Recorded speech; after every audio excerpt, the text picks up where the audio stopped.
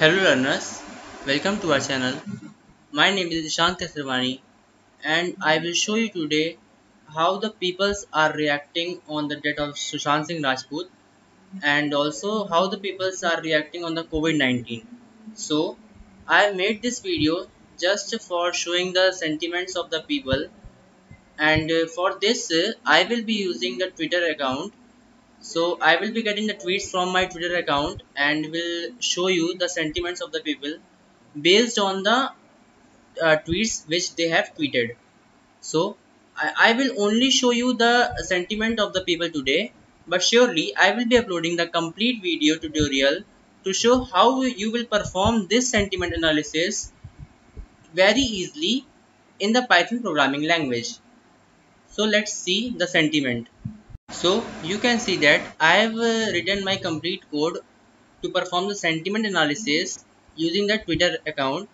So I uh, now but uh, I will not be showing you how to code this and how to write all this code in this video.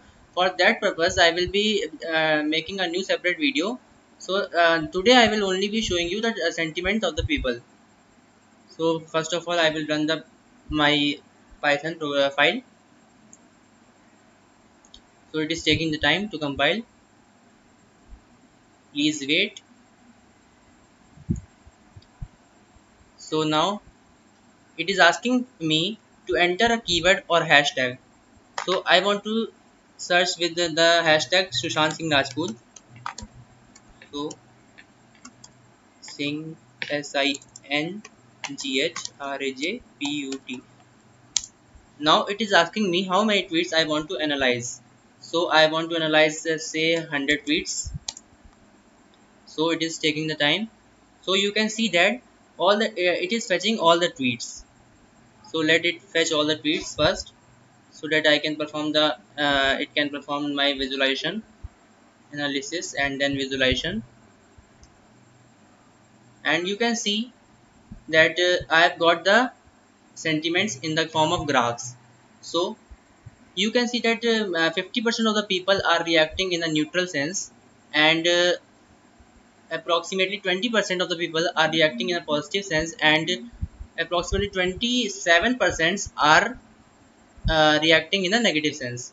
So i have made four different kinds of graphs. One is bar plot scatter plot and uh, one is uh, this one is line graph and this one is pie chart so this is how you can simply uh, perform the sentiment analysis.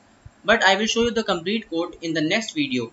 So let us check about the COVID-19 situation which is uh, the current problem uh, the global pandemic. So let's see the how the people are reacting on the COVID-19 hashtag. So I will be giving this time hashtag COVID-19 and uh, I will be just using the uh, only 50 tweets so it is taking the time to analyze.